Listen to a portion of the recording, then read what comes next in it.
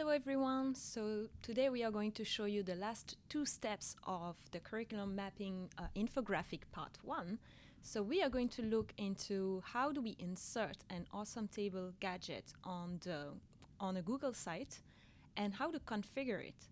So we are going to skip the part where you create a Google site um, and also because currently um, Google has been undergoing changes and they are changing Google site. The demonstration we will show you will be on the old or current Google site so um, when you are on your Google site, what you will need to do is to go to Insert, More Gadgets, and if you scroll down, you will find Awesome Table, and then you can insert it. Another option is to search for that gadget if you don't see it. I'm just going to cancel because mine is already on my site.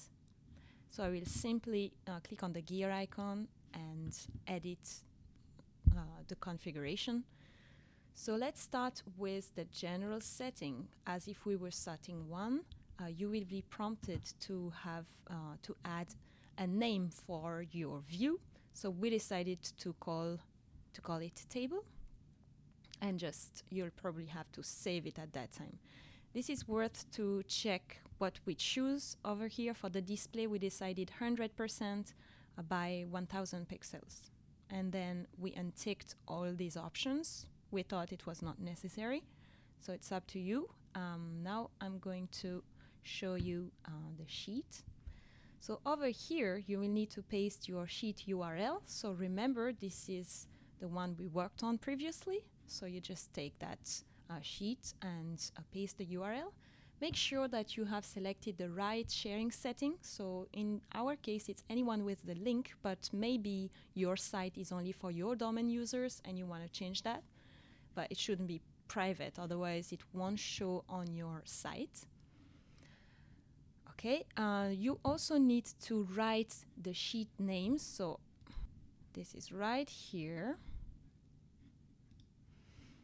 And then the range. So A1 and to till W in our case.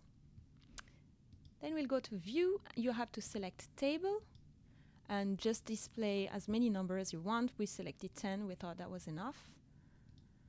The format now. So here, uh, this should come automatically, but what you need to do is to paste this URL. So if you look in the description of our video, you will find this. And Fanny, if I may, the custom CSS URL uh, actually controls the look and feel of the table on your Google site. That enables that awesome table to have that really nice Google Doc icon that represents all of the, the units on your table. So, and moving forward, the advanced parameters, in this case, we are selecting very specific columns from our Google Sheet. And the reason we're doing is this is because we want to put them in a very precise order.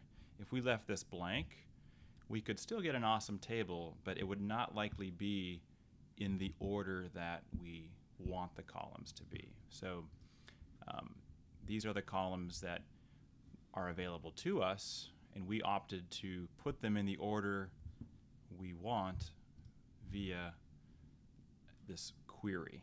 So don't be scared by the word query. It's actually quite simple and it's a matter of just trial and error. You kind of go through, um, see which ones you want.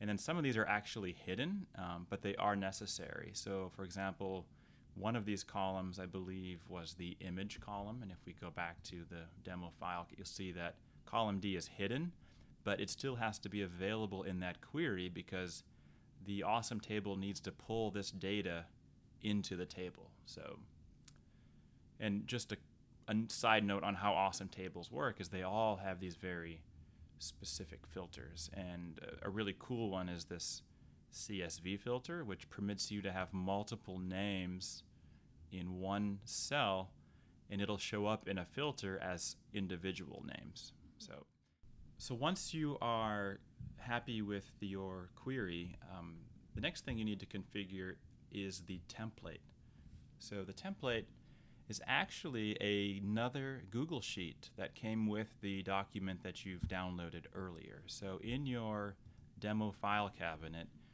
you'll have a sheet called template. In this, you won't have to change anything here. It's a matter of just knowing that this is there, and this is also contributing to the way the links work uh, in your awesome table. So, but this, you don't have to do any programming here whatsoever. And uh, Fanny, now should I turn the mouse back over to you? Thank you. So, I mean, we're, we are done with the configuration now. So we are simply going to save and look at how it looks at the end. So it's pretty nice. We have this icon and everything is organized. So you can always change the letters uh, in the query so you can have a different order. Uh, so this is how it works on the old or current Google site. But uh, if you uh, joined the um, Awesome Table Google Plus community, you will notice that there is a post by Romain Vi Vialard who explained that on the new Google site it's still possible to insert an awesome table. So this is quite easy to do because you simply have to add the link, the embed link. So you probably have to configure it from the awesome table website. So, well, we just finished the infographic part one. So thank you for watching and we will see you for the next part of this infographic.